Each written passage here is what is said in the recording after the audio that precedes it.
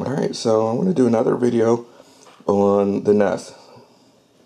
Claims to be a learning thermostat, so let's check this out. I know there's already lots of box opening videos for this, but I'm going to go ahead and open the box and let's check it out. So here's some stuff inside. Uh, I think they thought of just about everything with this kit. Screwdriver, the mounting plate, where you simply stick your wires in. More screws, instructions. Hey, this little thing is heavier than you think. A wall mounting plate, some metal plate. We'll see how much this thing weighs.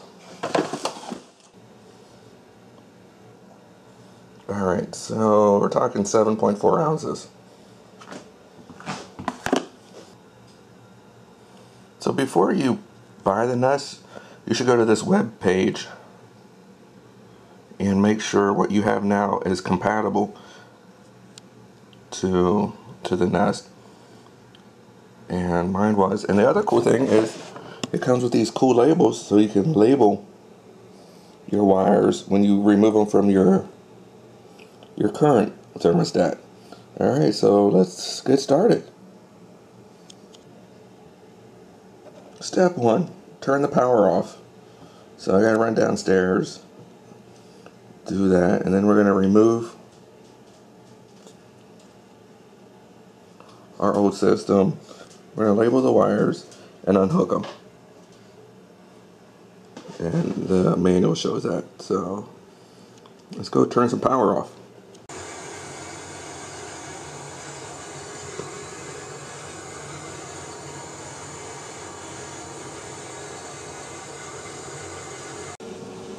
Alright, here's the old one that we need to remove.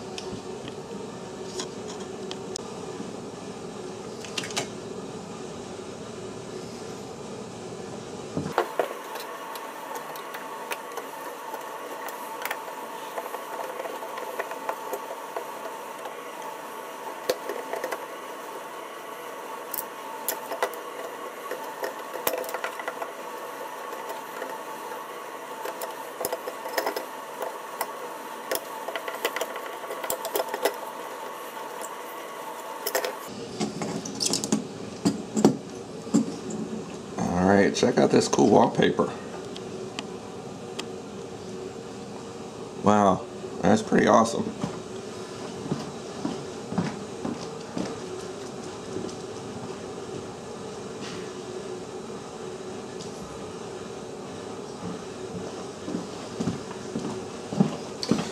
So this house was built in the 50s. Is that like the drywall or something from back then? Alright, so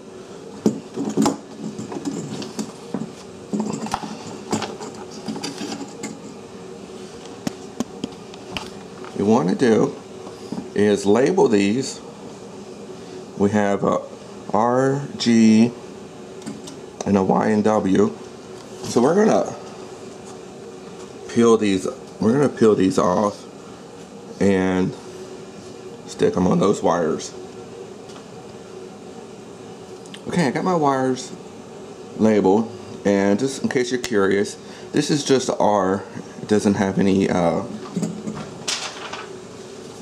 it's just R. It's not labeled RC or RH, but the manual says it can go into either the RC or RH. So if you have an old one like me, it just it can go either way. So it's good to know. And also the R is the power. The G is the uh, power for the fan. The W is the uh, power, switch power for the heat. And the Y, which probably you might have a yellow wire. I don't know, I have a blue, it's for cooling. So maybe blue was cooling back back in those days. So let's unhook all the wires and go to our next step.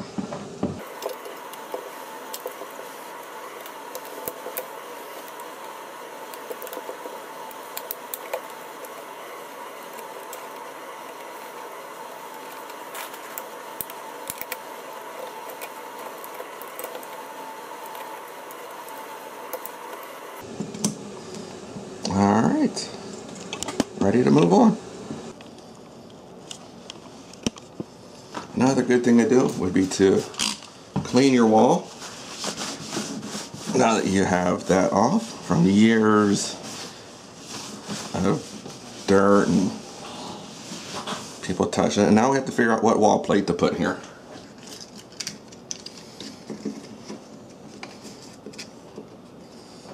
Okay, we have this. Let me show you here.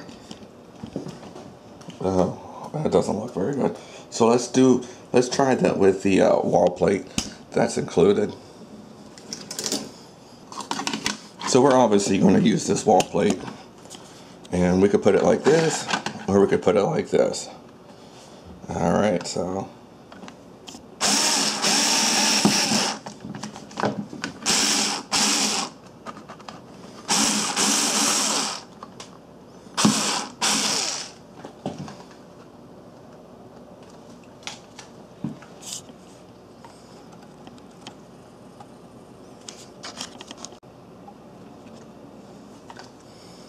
Okay, now make sure you're nice and level while before and while you're putting in this bottom screw. Oh, that's a really that's pretty tiny. Pretty tiny leveler. I'm going to use one that I can actually see. This says it's level here and it's off a little bit down here. So might be good to have I should come straight on so you can see. See, that's pretty darn level there. But if you look down here, it's it's off a little bit. So so it might be nice to have another level close by. So let's put the bottom screw in.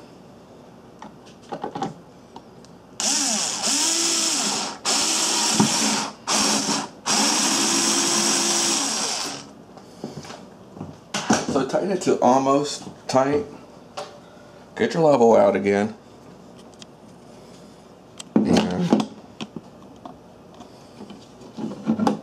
Check it before you tighten it, tighten it down all the way. Right there.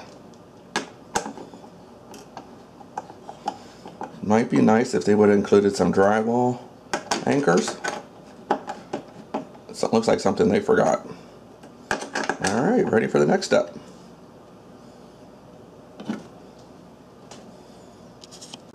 Next step is to insert the wires.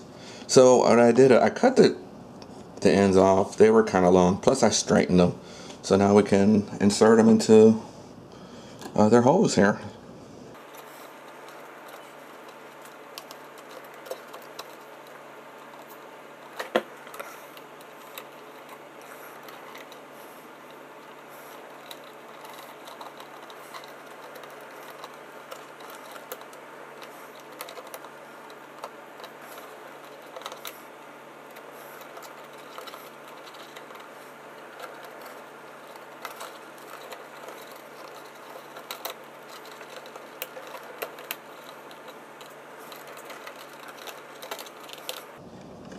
Seriously, if you're worried about wiring, this is the easiest part of the job so far. Is sticking these in there. Just stick them in further than you think. And now these guys we got to push back down in the hole. Once you push them in the hole, make sure your wires are still. Make sure your make sure your wires are still snug. Let's see. Is a good test. I'm just lightly pulling on them. Alright, so we're ready for the next step. Next, we're going to attach this. It says it just snaps right in. Let's see. We're going to want to make sure these pins line up to this.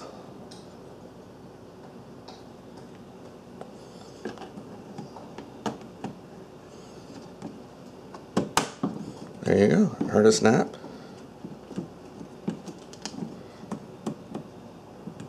Now we need to go turn the power back on.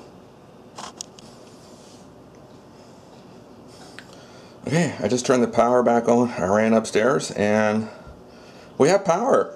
All right, exciting. Now it should walk us through the setup.